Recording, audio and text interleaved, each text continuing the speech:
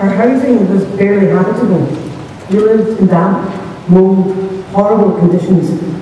The kitchen was unsafe to use.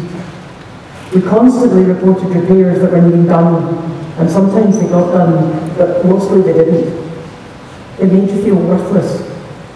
That you didn't deserve to have a nice, not even a nice, a practical kitchen and a practical bathroom.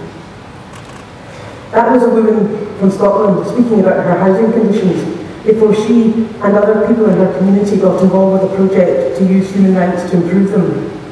She goes on to describe how using human rights made a difference to her life. This human rights-based approach to housing was critical for our community. It was vital that we got our voices heard. We learned skills we didn't really know we had, and it should be used by every community across the whole of Scotland. Now our houses are safe, secure, comfortable, warm, practical. But what are human rights and why do they matter? In the story I've just said, human rights are things that, when met, ensure our basic human dignity is assured and we can live life on our own terms.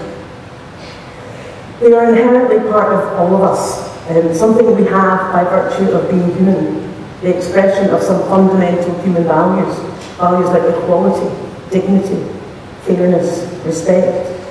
And when you ask people what human rights mean to them, these are the words they tend to come up with when, when they're asked to explain them. But also, since 1948, there are global legal framework articulated and written down in the Universal Declaration of Human Rights and adopted by the General Assembly of the United Nations. Subsequently, they've been further defined in international law through a system of legally binding treaties, monitoring processes, and through the establishment of a network of national human rights institutions like the one I chair, the Scottish Human Rights Commission. Seventy years ago, the political will to forge the Universal Declaration of Human Rights rose out of the atrocities of the Second World War, when the deaths of an estimated 62 million people at the hands of their respective governments led to the widespread recognition that states can exceed their authority and wield their power to the detriment of their citizens, and that international safeguards and protections need to be built in to stop that ever happening again. And in case you think these are historical aberrations and these rights are not needed today, think only of what's happening in Syria or Yemen, or closer to home, where the impacts of austerity mean people living on benefits are sanctioned by our welfare system to the extent that the rising use of food banks is seen as a developing social norm. With the rise of far-right views and building xenophobia go unchallenged in public debates, and misogynistic use of forces of social media forces women off the internet. So, human rights are about giving citizens the ability to hold states to account for the use and abuse of their power but they're also essentially about creating a structured but dynamic space where the balance of power in different relationships can be equalised. Eleanor Roosevelt described them as being about small places close to home. And she went on to say, if rights are not realised there, then we, we will search in vain um, for progress in the wider world. In the main, at the moment, Decisions affecting our rights are made, sometimes with us taking part, most often not, by governments and parliaments in all their settings, council offices, schools, colleges, other workplaces, doctors' surgeries, on hospital wards, on the street, on the web, myriad locations. And often we will not know that it is our rights that are affected and our rights that are at stake. Sometimes I describe them as being about the conversations that take place behind closed doors, where essential decisions are made about the future of our lives and the lives of our family members and friends. When I worked in mental health, I would often hear stories of decisions being made about people's medication, about their care, about when and if they could go home, all without the people actually affected being part of the discussion. All decisions which impact on our rights. And these conversations, so important to our lives potentially, are seldom seen as being about human rights. but they are. And our ignorance of our rights amongst ourselves and the people responsible for realising them is one of the core reasons they're not better realised today. The rights that are described in the Universal Declaration cover all aspects of our lives, the right to work and earn a decent income so that we can live in dignity, the right to vote and participate in our communities and our democracies, the right to a fair trial, so that when things do go wrong, we can be confident in being treated justly, the absolute right to life, and live free from torture or inhuman and degrading treatment, the right to live in adequate housing. So human rights are both a reflection of societal norms, a mirror to our values, and a way of challenging norms and evolving new ones, a roadmap towards a better society where we all live with dignity in reality. The treaties and conventions of the human rights framework balance the universality of the, of the rights they seek to protect, while allowing for significant latitude for individual states about how they want to do that. In other words, we all have all the rights, but we don't have them in isolation. We have them in very different contexts and settings. So the rights framework seeks to enable cultural and societal norms to be reflected in how human rights are protected locally. Sometimes that might mean they're not challenging enough when people's rights are systematically being abused.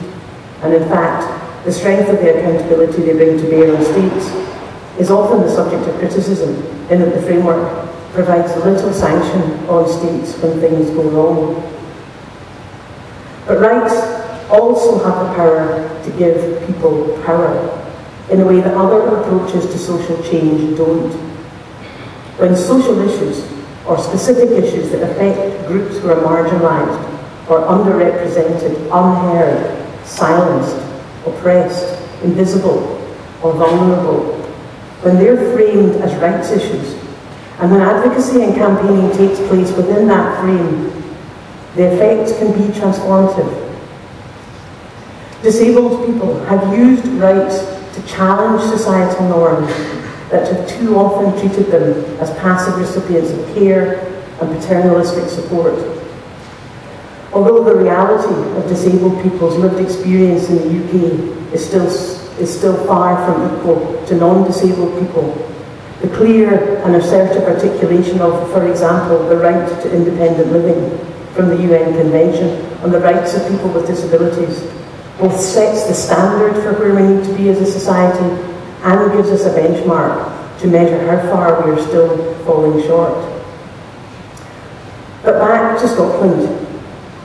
Here, a group of residents have been holding, uh, have been using human rights to hold their landlord, a public authority, to account for poor housing conditions. The idea that these conditions were not just a bad thing that had to be put up with but that, that were in fact a potential breach of international law was transformative for the community, giving them an internationally agreed standard to mobilise around and to take to the landlord to say this needs to change. Since then, £2.4 million investment has been made in the properties, bringing about a transformation in the residents' living conditions. And from the residents' perspective, we've not seen as many ambulances, the people are using their kitchens more. They're enjoying having family around. In fact, the biggest impact on me personally, said one of the residents, was when one of my neighbours said to me, for the first time ever, she was going to have a Christmas party, because this time she wasn't ashamed. Poor housing kills communities, but now it's starting to grow again. So this process that the residents were engaged in wasn't always easy. Everybody involved was challenged in one way or another as the process of realising a group of residents' rights took its course. So the other thing that happened as a result of that work is an understanding that Mary Robinson, the former President of the Republic of Ireland and UN Ambassador, UN Human Rights Ambassador, recognised that discomfort is where change happens. Discomfort when people claim their rights. As one of our other partners in our work observed, People claiming their rights from power is going to be uncomfortable for power, and people on the ground have to be brave to do that. But that space of discomfort is actually necessary for the alchemy of change to happen. Sometimes we see a shying away from that, that kind of discomfort, as often those in power are not used to, be held, to being held accountable for the use of the power they have. And those who have the rights are not used to holding that space and ensuring that their rights are realised. But we also know that the key to making change is people engaging in the process. One thing that human rights demands for them to have impact is for people to talk all aspects of the issue through from a human rights perspective. If rights are not being realised, why not? What is in the way? How can barriers be reduced and removed? Who decides?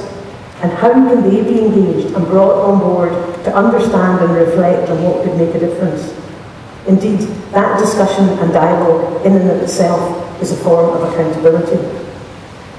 And the strength and importance of making rights explicit in all of these conversations is then is that then everyone knows what their rights are and who is responsible for delivering on the rights.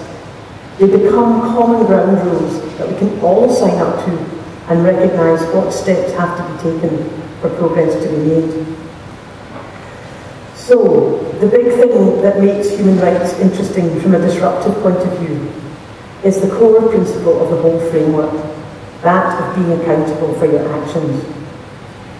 The main focus being really on states being accountable for their actions in terms of actually delivering on people's rights. And it's the law that helps make that happen. Having our rights enshrined in law gives us all essential legal safeguards. And yet, around the world, the rights that have the least legal protections most often are the rights that people care most about in their day-to-day lives. Economic, social and cultural rights, like the right to housing, right to food, health and social security. This is true in the UK as well. In fact, it is a failure to deliver against those rights for our populations that has led to rising inequality. We can change this though, there is a wealth of international experience and practice in courtrooms and parliaments for us all to learn, replicate and build on when it comes to protecting our economic, social and cultural rights. Taking action to better protect people's rights by incorporating these international standards into domestic law here in the UK as well as elsewhere is all the more important here given the context of Brexit and the risks to rights this represents.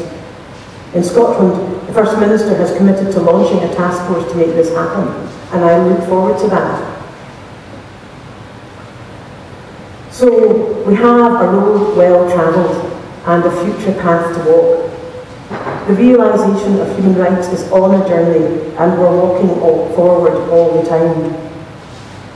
But I'm going to leave our last word to our local residents. What I have learned is massive. And it's not just about housing. If you have an adequate house, it reduces your fuel poverty, which reduces your poverty, which means you're not starving or cold, which impacts on health in a positive way. What we've seen here is that people are starting to feel better because their housing has improved. At that human level, it's transformative.